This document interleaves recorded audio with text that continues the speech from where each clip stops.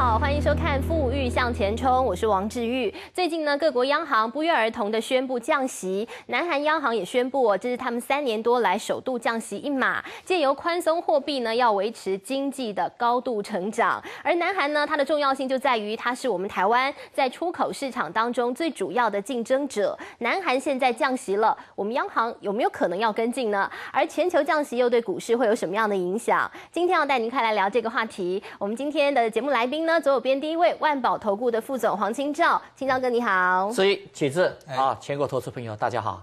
好，还有资深的媒体人徐启智，启智哥你好。哎，注意清照，哎，大家好。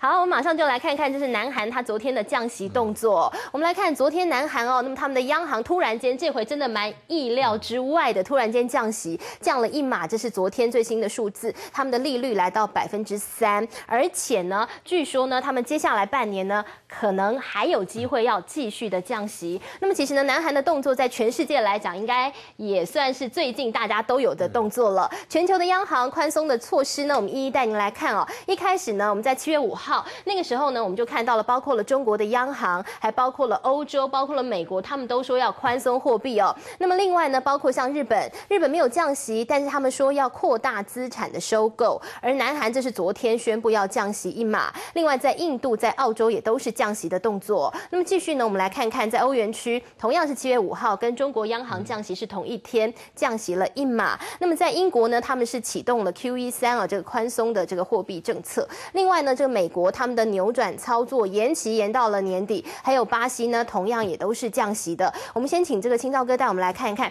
全球都在做降息的动作，特别是南韩，大家都比较主要关注它，因为认为跟我们台湾比较相关嘛。大家这样的一个降息，真的是显示出来全球的经济好像真的很糟糕哎。好，好我想为什么全球要降息呢？这个都是怎么样？欧洲数四国害了我们欧债。哈，那么这个我我想大家很清楚哈，像中国大陆、台湾、南韩，最主要就是靠怎么样？靠出口。那么欧洲是中国大陆最大一个出口地区，那么大陆又是台湾跟南韩的一个怎么样？最大的一个透过的一个出口的地区，所以这个欧债影响到怎么样？中国大陆，那相对就会影响到台湾跟什么？跟南韩的一个出口，那相对的全球也会受到怎么样？这个欧债的一个波及。所以现在央行所能做的动作就是怎么样？货币政策。那配合政府的一个怎么样财政政策？那么这一个货币政策的话，我们给各位投资人看一个资料，刚海智业提供的那些资料非常完整，但是我给各位看一个，我们看一下这个更更更完整一个资料哈。巴西这一波的利率是从多少呢？十二点五降到目前的八，它已经连续降几次呢？降八次，每一次大概都降两码，有一次当中是降了四码。那么南韩从怎么样？哦，金融海啸之后，从两趴升到五点二五之后，开始往下这个地降了之后，目前降到多少呢？三三趴。台湾从多少呢？三点六二五降到目前的八点一点八七。你有没有发现，全球的利率都怎么样？大幅的降低，这个都是窝在怎么样惹出的一个因素。好，那现在这个降息，我们可以思考一个问题：降息会不会有效应？有，但是因为窝债真的非常严重。所以这个效应没有办法像过去我们所学的经济学说怎么样，三到六个月就能够怎么样显现出来，可能需要更长的一段时间。可是我们肯定的一句话，降息抗欧债，那么这一个怎么样，利多迟早一定会怎么样，一定会发酵的这一句话。好，那我们看一下，可能大家比较关心的就是在怎么样呢？台湾，好。那这一个降息之后，刚才自己有提到了，我们已经到多少一点八七五？我认为怎么样？台湾可能将来有机会再降，但是我认为目前可能还不会马上，它可能会动用一个动作，可能会降怎么样？存准率，未来可能不久的时间可能会做一个怎么样？降低成成整率。好，再加上可能要靠台币温和的贬值，所以最近媒体是不是登出来的？台币已经贬破多少了？三三十了，因为台湾以出口为大宗。那我们看一下这些将来利多，我们跟大家讲台币的温和贬值啦，那个降息呢？那大家比较关心的是，当然讲我们今天谈主题要讲关心到我们台湾的股市，就像两个礼拜前，哎，我觉得志毅很会挑，刚好我们谈的台达电，各位，这个大盘从七二九六跌到今天的低点是收盘价是七零，是大盘是跌的。我们跟投资人报告的台达电有没有？是两个礼拜谈台达电，这两个礼拜来是涨的。我们提到的有没有一些家族统一也涨的？任泰钱。任泰新也全部都怎么样涨的？金融股怎么样涨？所以我是我今天先谈一个大方向。那接下来我们可能后面会提一些股票，希望说下礼拜对你股票操作有帮助。好，那我们看一下，台湾的主计是预估台湾的 GDP 是逐季成长。那目前大家有疑问说怎么样啊？主计数可能高估的太太怎么样？太理想化的。那我们就怎么样？以目前我所收集到的资料，台中院对我们台湾的 GDP 看的最差。那么各位看一个第一个资料哦，你从左上方有没有一直往下看看过来？你看到从六点六降到一点九，去年有没有第一季一直做？说为什么我们台湾的股市去年从高点多少呢？高清两百二十点，落高存多少？六千六百控高点。为什么？因为我们的 GDP 是逐季下降。所以你意思是跟我们这个看看的 GDP 看的不太好，所以可能央行还是会有一些动作的。好，那现在今年怎么样？各位，台中院是不是预估怎么样？今年一百零一年第二季，它估计是零点一八，第一季是零点三九已经出来的。那么如果是第一季，或者不管是第一季、第二季触底，那么主技术跟台中院都预估怎么样？第三季跟第四季会逐季怎么样上升，而且上升的幅度很大。为什么？因为去年的第三季跟第四季是三点四五跟一点八九低基期嘛。所以各位不要太悲观。今天志毅谈这一个主题，我要告诉各位投资人。危机就是转机，这个大盘搞不好下一个礼拜一就会出现一根红棒，红棒之后二三做整理完了之后，哎。有些股票，我们等一下会提出来，搞不好会再像你两个礼拜前我跟大家提的，哎，至于抓到了这个台达电，所以上两个礼拜是不是开玩笑？至于说，哎，你有一些老股啊，不能晃着不动啊，要去做换股啊。结果两个好像我股神哦，对，别拿对对，拿捏的非常好。结果两个礼拜之前我们抓的股票，这两个礼拜来都是跟大盘似的，大盘。的干密密麻麻，可是我们提的股票都表现不错。我们现在先卖关子，待会再请金亮哥来看。好，我们先来看看这个汇率上面哦。我们看到了这个，我们目前呢，那么在台湾的这个汇率上头，我们看到了，其实韩元呢，在近期来，我们来看它这个贬值的状况哦，是比较明显的。感觉呢，这个韩国的央行就是放手让它贬了，因为他们经济不好嘛。然后主要的一些合作国家，像欧盟啊，像美国经济都不好，所以呢，我就靠着汇率贬值，让他们的出口可以继续成长。那我们呢，我们看到现在，昨天呢是贬破三十了，但是呢最近我们看这个趋势，其实就是很温和，没错，没有很明显的。但是你看到韩国跟我们这样的竞争关系，人家是一根这样扁子就让放手让你扁，我们这样子，你们觉得好像太温吞了？应该这么讲说，在韩国本身来说，对这个竞争的态势啊，它的大出口商比较多，它不是非常集中在几个大公司。那台湾是很多中小企业组成，那这些大公司跟这个央行的关系特别好，所以国家来说的话，他们在以台湾为假想敌。但除了说它的本身提升它的竞争能力跟产品品质外，汇率的战争，他一常用。啊，他经常用汇率来打台湾，那这一次呢，其实算打得算成功，所以我们的 LCD 啊，低润都被打得很惨，主要是他把汇率贬得很低哦。相同的汇率，比如说它比我们低估的话，那当然它出口的状况就比较好。但是韩国的企业还是有它基本的问题存在。举个例子啊，台湾的中中小企业。这个财务结构都很健全啊，大部分就你有多，然后大部分两公五啊，已经做完的行李啊，对不？就你有多少钱做多少生意，这这是台湾你在事业上的想法。那韩国本身它有个问题，说这个大企业借钱都借很多啊，他们国家银行都融资给大型的企业，所以呢，当出口不顺畅的时候，他就会开始讲。怎么样来减轻这些大企业的负担？那降息是最好的办法。所以对他们来讲，韩国整个在认为在这个大企业竞争力受到威胁的时候，他们会用尽所有手段。降息也是他们在扶持这个大企业其中手段。因为你看那个，你要是看那个三星的，有时候看财报你会吓死。看他是很会赚钱，但看他负债你也会吓死。说 这公司要翻转过来，我们说你欠很多债，一翻转的时候也会倒下。所以他很会赚，但是也很敢借钱。那这几年现金流量虽然是很好，但是国家。还是一直把功力灌到他们身上去哈，包括汇率啦、利率两个方式来做。那台湾相对上就是比较保守一点。我们最近的这个汇率这一年来波动从二十八九块慢慢波到三十，速度比他们慢。那在这种汇率的反应、汇率战里面，我们比较慢的情况下，我们看到我们的地润厂跟 LCD 厂都被杀得很惨啊，包括一些其他的宏达电什么这些手机都受到很大的损失。不过我觉得汇率当然是一个很重要因素，基本上，但是技术还是最重要的。好，你技术。技术不好，你汇率怎么贬？万米高的不方便。所以韩国在这种公司，就这个他们的公司，国家来配合你，提高你的生产技术。那我用汇率跟利率来补贴你啊。在这种情况下，让台湾的这个厂商，因为我们的规模比较小，受到很大的挤压，所以他们应该这么讲，趁这一波把所有力量加强之后，彻底让台湾的两个产业，低温跟面粉厂彻底出局啊！他们把力量用到极限了。对，这个韩国人真很坏。我们现在 看看我们的央行有没有办法来阻止他们哦。那我们请这个副总帮我们谈一谈。我们看到这刚刚提到的这个汇率哦，那么很多人说你现在这个汇率现在在整个亚洲地区，感觉呢汇率的这场战争，这个贬值大战哦，好像大家都一定得要投入。现在的趋势是的确如此的，只是呢看到了我们的汇率，你看人家韩国降了都还有百分之三，那我们现在已经一点多，我们还有这样的空间吗？还是呢央行就是靠着让货我们自己的这个货币稍微的贬值来撑住我们的出口产业？我想台湾央行这一段期间应该会让台币做一个温和的适度贬值。好，我要跟投资人讲一下哈，台湾跟南韩差别在哪里？政府的魄力，韩国人讲啊都傻嘞。哦，艺术艺术公温总统没有魄力，也就是就是魄力怎么样比较不足了。那一方面我要跟投资人强调哈，因为台湾的老百姓哦，现在真的是假党逼，有时候真的都老闲呢。所以看，那我今天给各位看一个资料，你看了这个资料，你就会看看得出来的。为什么台湾的低润刚才启智哥为什么跟他讲说我们的低润跟面板会被打垮？各位看一下，南韩真的非常厉害，他每次都利用全球金融海啸的时候，顺势让那个币值怎么样？大幅的贬值，各位你看，两千零八年是不是美国次贷？嗯哼，大家看一下那一年韩环贬多少？你知道？大家看那个数字，你会吓死人。三十四，三十四点六 percent，台币才贬多少？一点二。各位，如果台币贬这样了，那就是怎么样？台湾可能怎么样动乱了？说怎么样？外资撤出了，好像世界末日来了。所以我们跟他讲，韩国的政府破例失职，让他怎么样？大起大。好，他就利用这一个。好，到了两千零九年的时候，韩联是升值九趴，我们升值二点五。好，到了一零年的时候，它升二点三，我们升五点二。去年它贬三点七，我们贬多少？零点三。今年到目前为止，它怎么样？升值零点六，我们升值零。所以刚才智毅用的非常好，提供大家看的那是短线的。是。那我帮投资人再补充一个长线，为什么我会被人家杀的这么深呢？你看这五年来。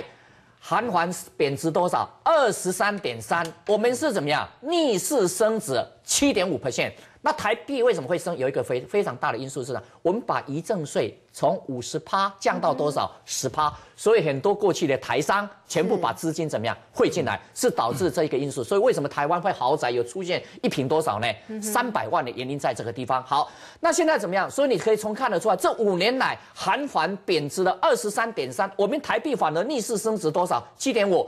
所以各位注意，台湾的有些产业就会怎样？被杀的稀里哗啦，那等一下我们会跟你谈一下，可能政府应该要怎么样去做，我们投资朋友应该要怎么样去选股，对你在股票操作面才是真正的有帮助。我等一下会提，所以我下一个结论。那么央行在这个地方，我认为跟韩反好应该是会怎么，不至于会竞贬。但是怎么样？两个国家一定会采取一个怎么样温和适度的贬值，来互相帮助它各自的一个产业。那在这个竞争的产业当中，一定有怎么样？有优胜劣败。这个优胜劣败就显现怎么样？你要怎么样去避开危机？你要怎么样去转入怎么样转机？然后你怎么样在股票投资怎么样才可以赚到钱？这个是一个重点。好，其实跟我们刚刚看到了这个青少大哥提供给大家的资料，看到了这个整个趋势哦。这个韩韩国他们真的是很大胆子哦，就放给你扁。那我们台湾我们的彭淮南他就是一个。很多星啊，七星级的总裁，不不见得这样讲。就是韩国这种贬值，我们从一个企业的观点，当然出口界当然很好，你很照顾我，对我需要政策利率降啊，那个呃汇率贬值就贬值，那对我造成很大钱，但是对老百姓就很痛苦。韩国人过得比台湾人很痛苦，因为他们货币很不值钱啊。相对来说，台湾是我们的整个进出口还蛮稳定的，然后他也希望。